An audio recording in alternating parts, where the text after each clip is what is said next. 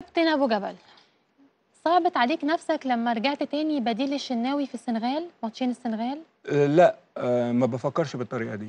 أنا في منتخب مصر أنا فرد جوه المجموعة إحنا كلنا عيلة واحدة. آه، أي حد يلعب أو أي حد يكون موجود أهم حاجة يأدي دوره وأهم حاجة كان بالنسبة لنا منتخب مصر يكون موجود فين يعني بالنسبة لنا داخلين ماتشين السنغال كان بالنسبة لنا صعود كأس عالم فكنا محتاجين أي حد يكون موجود. كان نفسنا نصعد كأس عالم ويمكن فترة صعبة جدا الواحد يمكن لسه بيعاني منها لحد دلوقتي من الضغوطات ومن الحلم اللي إحنا حلمناه والناس وعايزين نفرح الناس كلها وما قدرناش. دي حاجة صعبة جدا وحاجة كبيرة علينا. لكن إن شاء الله إن شاء الله نعوض في اللي جاي إن شاء الله. بعد ماتش السنغال الأخير اتقال إن صلاح لمح لفكرة الاعتزال الدولي وقال لكم إنه مش عارف هيلعب معاكم تاني ولا لأ. ده كان انفعال لحظي ولا قال لكم حاجة بينكم وبينه كده؟